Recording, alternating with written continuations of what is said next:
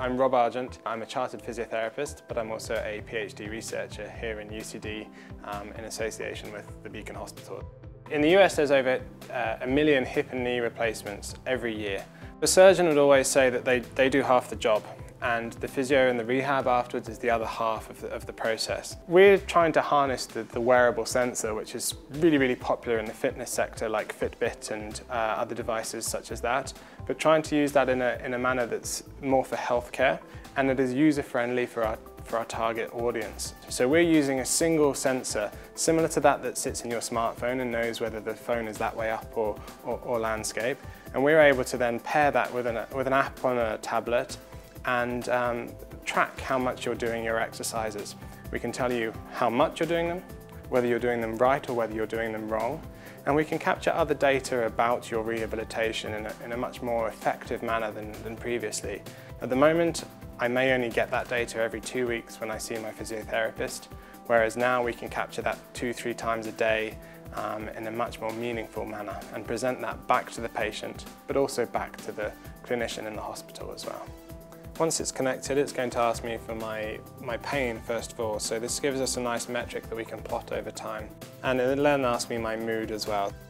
And then what we have is we have an ability to watch the video beforehand. So I'm able to, to check my exercise to make sure that I know which one I'm doing and how to do it correctly. And that will play through there. So when I'm ready to begin, the picture of the avatar comes up on the screen.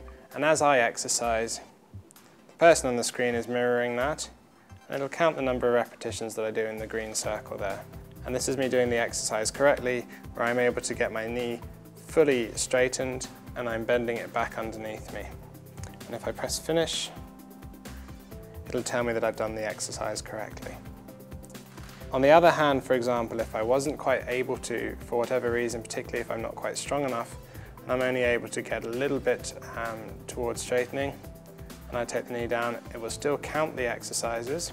If I then press finish there, it'll tell me that I haven't quite done my exercise correctly and I'm not yet straightening the knee fully, which I want to be able to do to get the most out of the exercise. This is a project that's been going on over 10 years of research uh, here in Insight in, in UCD. I came on board as part of my PhD to uh, further the development and then the testing of the technology. I spend a significant amount of my time in the Beacon Hospital um, where we have access to patients um, and we're able to gather their opinions and test out um, any iterations that we make to the design with the end user. So what we're looking to achieve is, is further investment so that we can create a more professional prototype of, of what we have at the moment. Feedback's been really, really positive from patients. They, they perceive that there's some value in, in what we're trying to achieve.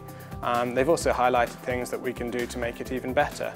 But um, the key thing has been that we keep it very, very simple and very easy to use. I have one lady who is an 80-year-old lady who's never had a smartphone or anything before and she learned how to use it and was delighted that she could use it and didn't really want to give it back at the end of the two weeks. So it's a really positive um, experience that the patients are saying, well, it's making me do my exercises more and it's giving me some motivation because I know that either whether someone's watching or whether I can see the progress for myself, it gives them that added incentive to, to do their exercises. It's a multi-billion dollar industry. If we think about the US alone, there'll be over 5 million operations of this type by 2030.